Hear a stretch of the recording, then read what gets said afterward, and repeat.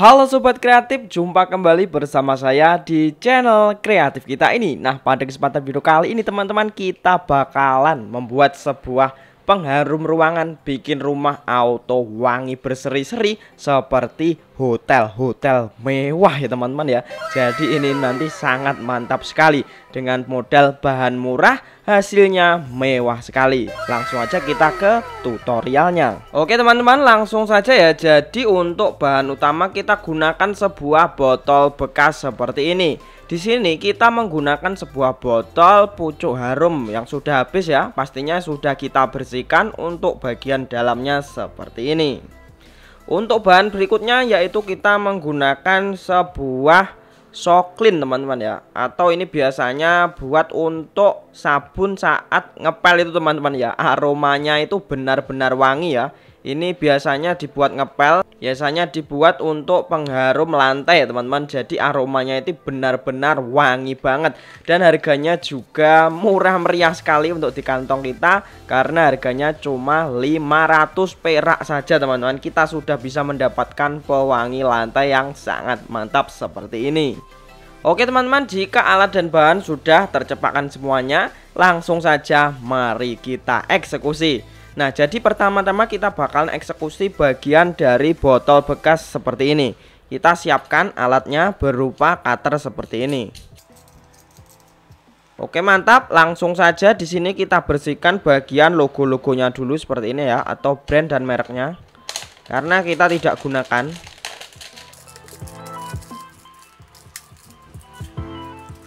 Oke mantap teman-teman. Setelah bersih hasilnya seperti ini ya guys ya. Mantap sekali ya Langkah berikutnya di sini kita bakalan potong ya teman-teman ya. Kita potong di bagian sini.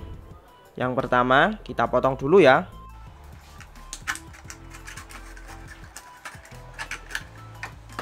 Oke mantap teman-teman jika sudah terpotong seperti ini untuk hasilnya dan untuk potongan kedua di sini kita bakalan potong di bagian silitnya ya atau bagian bawah botolnya langsung aja kita potong di bagian bawahnya seperti ini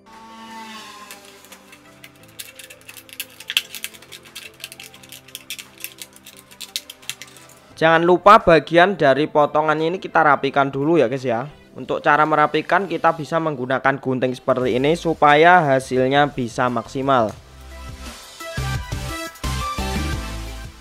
Oke mantap teman-teman. Setelah itu hasilnya bakalan seperti ini. Jadi benar-benar rapi dan rata seperti ini Nah jadi hasil potongannya nanti teman-teman kita bisa satukan seperti ini. Nah jadi bakalan menjadi sebuah botol yang sangat-sangat unik seperti ini. Mantap sekali bukan? Lihat. Benar-benar mantul sekali.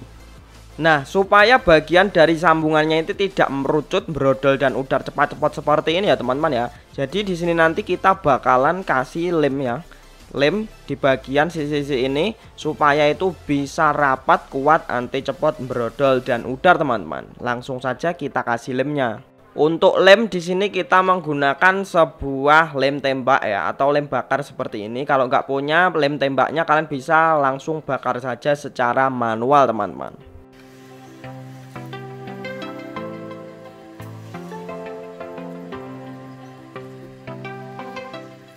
Nah jika sudah kita lem hasilnya bakalan seperti ini Lihat ini benar-benar menjadi botol yang kerdil Sangat kecil dan mungil dan sangat gemoy sekali ya teman-teman Kalian bisa melihat sendiri Lihat ini benar-benar mantap sekali Pastikan semua bagiannya itu rapat ya teman-teman ya. Nah untuk langkah berikutnya di sini kita bakalan buat lubang teman-teman ya. Kita buat lubang cukup banyak ya nanti. Pokoknya kalian ikuti saja dalam videonya.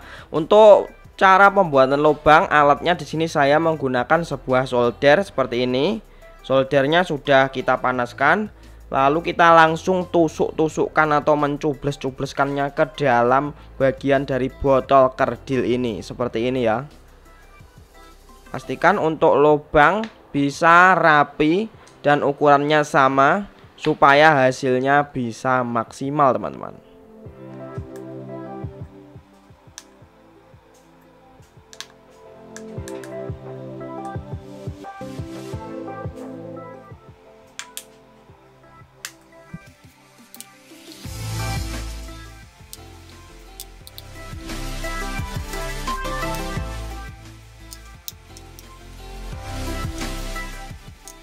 Nah setelah kita buat lubang hasilnya seperti ini. Benar-benar mantap sekali. Lihat Lubangnya cukup banyak ya. Kalian bisa ikuti saja seperti dalam videonya.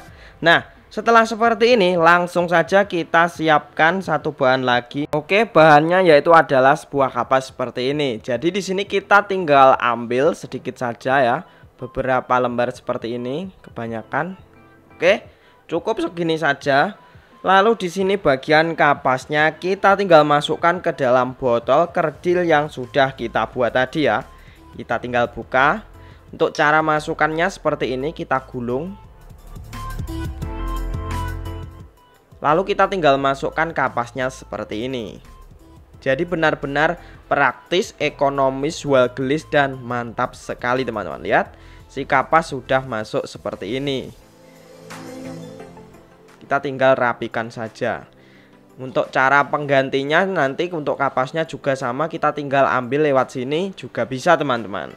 Setelah bagian kapasnya tadi masuk langkah berikutnya kita ambil bagian soklin pewangi lantainya lalu kita tinggal buka seperti ini ya teman-teman ya Nah, sama seperti tadi untuk cara memasukkan cairan pewangi lantainya dari atas seperti ini ya teman-teman ya. Jadi benar-benar praktis dan sistematis sekali.